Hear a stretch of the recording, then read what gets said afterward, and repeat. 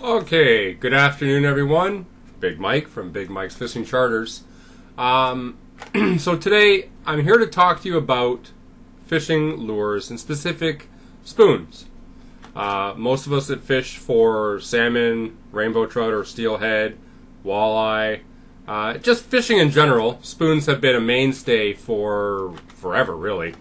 Um, and for the most part, spoons have always been made of metal. Um, it's just the way it's been. Painted metal, metal with uh, a metallic flake on it, something like that. And they flutter in the water, and pretty much, you know, whatever color you buy, you know, we have hundreds of colors, so everyone buys, you know, I think I have a thousand spoons in the garage, which is way more than I need, but can I say? I like to collect. So, I'm going to talk to you about a couple of things. First is a relatively new product to the market here.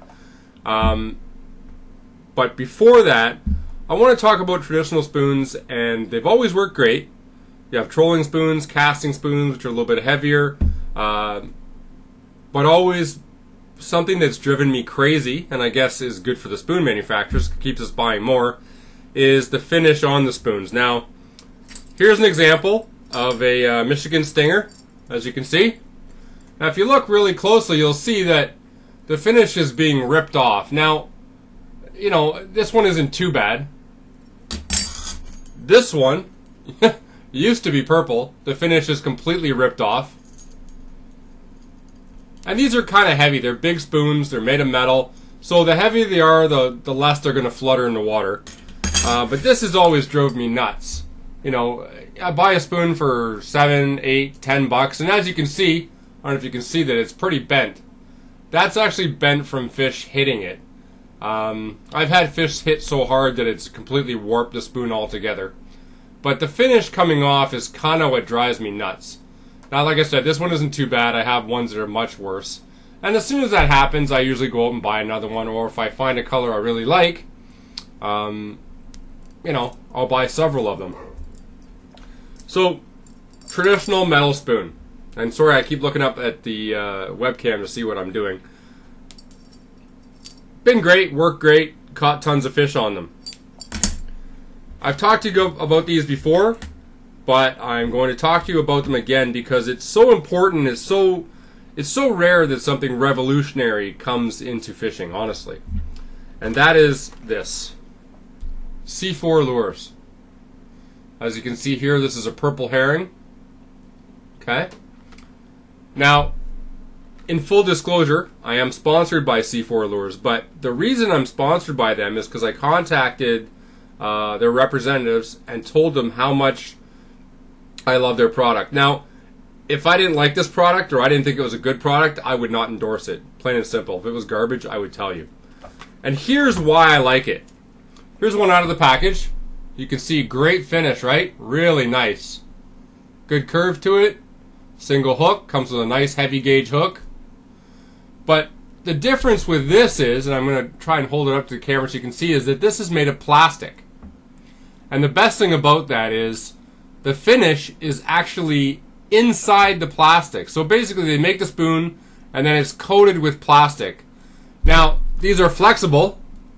You can put them in hot water or even use a hair dryer or even the heat from the sun and reshape these to the flutter that you want to get. So if, if this wasn't enough curve, I could reshape it and get more. God, look at the look at the finish on that. That's just amazing. Amazing reflective finish that is never ever ever going to come off.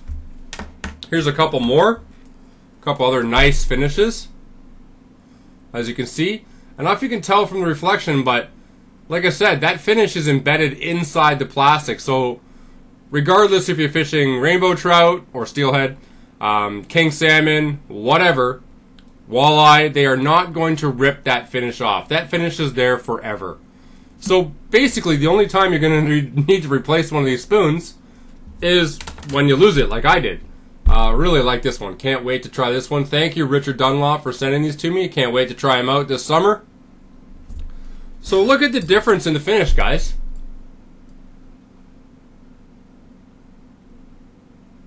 You see how easily the finish on the Michigan Stinger comes off. Now, nothing against Michigan Stinger. I like Michigan Stinger spoons.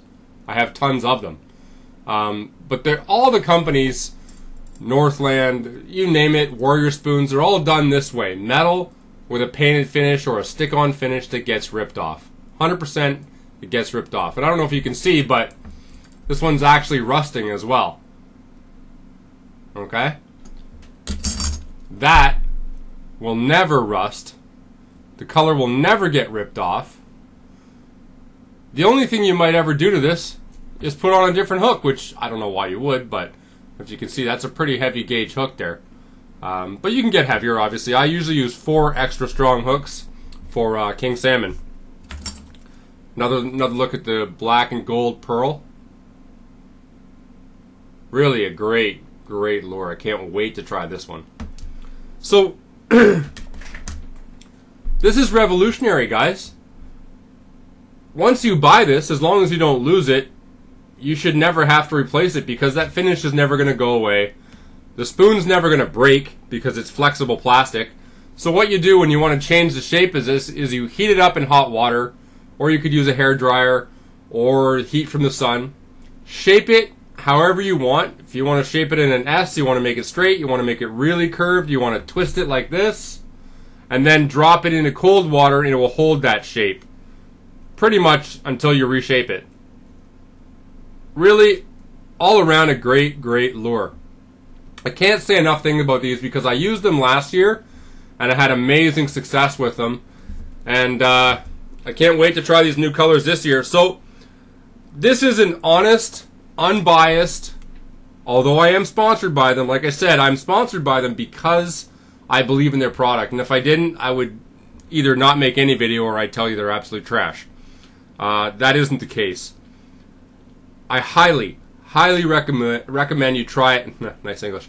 I highly recommend you try at least one or two of these guys' spoons, and tell me what you think. For those of you who are passionate about fishing like I am, and in fact I'm so passionate I made it a side business, uh, these are a mainstay. Something you absolutely should try. You're really uh, cheating yourself if you don't have some of these in your tackle box, in your arsenal. For rainbow, walleye, uh, salmon, king salmon, whatever you're going after, coho. Uh, these have been great, really well produced, uh, well manufactured, and they hold up, boy. Let me tell you, they and that's what I like most about them is if you're like me and you have thousands and thousands and thousands of dollars worth of spoons and other fishing tackle, uh, you want your investment to last. Nothing drives me crazier, and this spoon's only a year old, right? I only used it one season. Nothing drives me crazier than that. And you can see the scratches from the teeth. Hopefully you can see that. Right? These are toothy critters we're catching. They're not, they're not bass.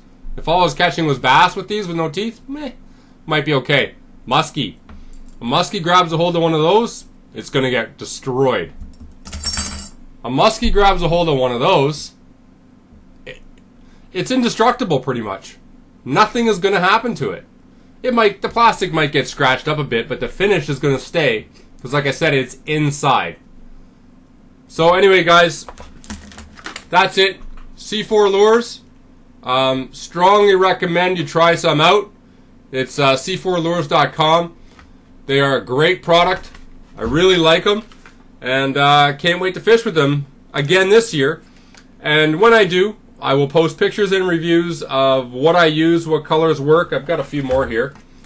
Um, this one I worked really well last year.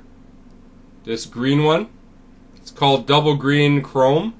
And these are a 5 inch and these are a 4 inch. I believe they're 4 inch. Let me just double check. Sorry. Yeah, 4 inch. Uh, this one also was great. This watermelon one, um, really good for walleye. Actually, surprisingly, uh, even this big of a spoon, five inch spoon, I was getting you know 18 inch walleye sometimes hitting them. Sheephead, sheephead love these, but they pretty much love everything. Give them a try, guys. Uh, you won't be disappointed. And honestly, if you are disappointed, I'll buy the spoon off you. They're that good. Give them a try for a few bucks. Contact Richard Dunlop. Um, or contact SeaFour Lures directly and get at least a couple of these to give a try.